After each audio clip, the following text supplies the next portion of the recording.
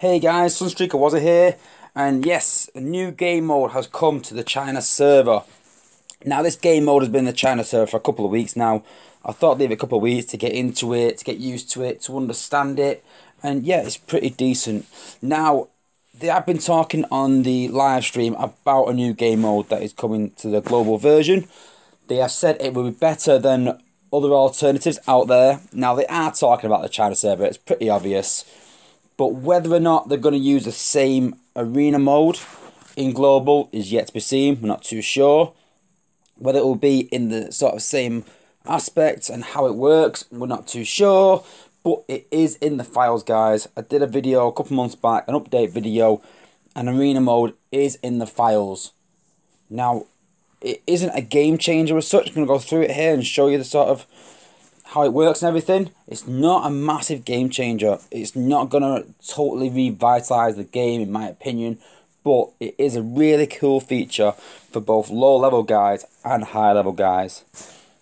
Uh, before I crack on, guys, just want to say that tonight Nathan Webb will be doing a win, lose, or draw uh, feature on the official stream tonight. So watch out for that, guys. It's a lot of fun. I tune into pretty much every one of Nathan's uh, win, lose, or draw games. It's really, really fun, guys. Go and check it out on the live stream. I'll definitely be tuning in anyway tonight. Definitely, without a doubt. So, uh, going on to arena mode. So, I just want to start off by saying arena mode has been designed and it to not use any fuel cells, but the bad side of it is that your bots don't gain any XP from this. So when you've done all your raiding, when you're in a leaderboard or something like that, and you've run out of cells, this is a good thing to jump on because you don't need cells. But it isn't going to give you bots any more XP.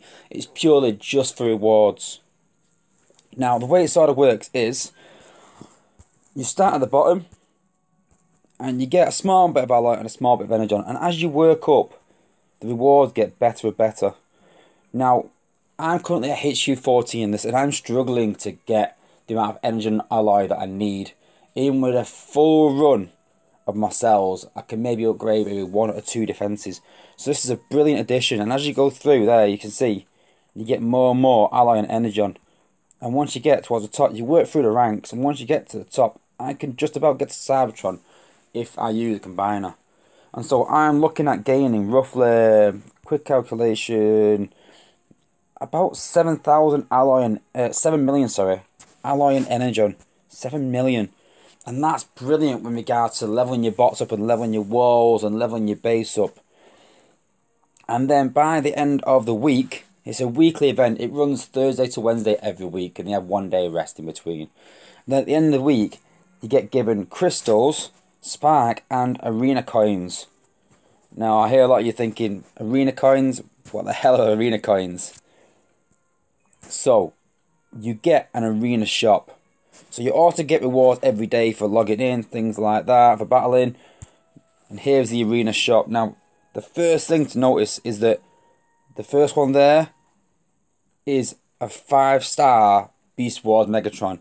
And yeah, it's 11,000 coins. But you can see there, I've got 2,500 already over the last two weeks, two, three weeks.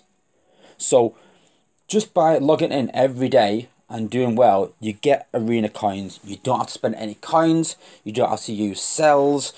Yeah, like I said, your bots don't get XP, but you can get a five star totally free to play. You could even not do a single event, just log in and battle every day, and you can get a five star. Yeah, it will take you quite a while to get, but I think that's a really cool feature to give, you know, guys that are at the top of the game the chance to get a five star. And yet, the higher you are, the faster you'll get that five star. But it's a cool option. And if you think that that five star is too out of reach, you've also got other features where you can buy four star shards, you can buy alloy, you can buy energon, you can buy prems, and these change every week. But it's it's similar really every week. It's very similar. That five star's been there for three weeks they probably will change it maybe in a couple of months to a different five star. I'm not too sure. I can just imagine they will do that for the top guys in the game so they aren't getting excess coins, things like that. But it's a really cool feature for literally just logging in and doing a few battles. It's really decent. And like I said, the way it sort of works is once you get three defeats, you can't attack again unless you yeah spend 200 coins to regen that. But once you lose three times, then you you're out basically. You still get the rewards. When I say out, it means you can't attack again. But you still get the same rewards at that level where you're at. It's also good for the top guys because once you get to the very top level in Cybertron, you start getting uh, ranking points. And those ranking points go towards uh, better rewards, more coins. The higher you get, the more coins you get. So it's really good for top guys. It's really good for the middle guys. It's really good for the bottom guys and regards Alloy and Energon. So just something to look out for, guys, when it comes to global. And if you're interested in joining the China server, then hit me up online, Sunstreak Wozza. We've had a lot of guys from Global come over and just play free to play. Just something to do as well as their global account. I'm not saying get rid of your global account, guys. I'm not saying you have to, you know, we've all invested a lot of time running into these accounts. You don't have to get rid of that. Play it in your spare time. Just something to do. Don't have a second account on Global where you've got to put money into that. If you've got an account on Global and you want a second account, this is ideal because you can get a lot better rewards, total free to pay if you've looked at my global account, I pretty much maybe have 5,000 coins, something like that in the bank, maybe 10,000. I've got 36k here with a lot less spending on the China server. If you've not, if you want to know more about the China server, guys, as well, go and check out my China server video that explains it all, the basics of how it works and the differences between the China server and the global server. Go and check that out. Get the information available to you. And then if you're still interested, then come back to me, guys. But just a word, a uh, bit of a note you can't bring your global account over to the China server. I've had a lot of guys saying like, oh yeah, I want to join and bring my account over. You have to start afresh. That's why I said it's good to have a second account. Your global account will always be a global account. It will always be on that server. You can't change that. But if you're thinking about doing a second account, if you've got a low level second account, maybe a HQ10 or something on global, then start afresh on, on China. You can get up to HQ10 within a matter of a couple of weeks and it's a lot better value for money. It's a lot better free to play with a lot better rewards.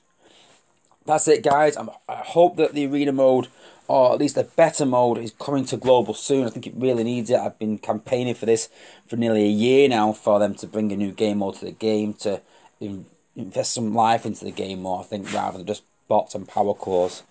Um, but yeah, watch out for this, guys. Arena mode may be coming to global. Alright, thanks for watching guys. Uh, if you like the video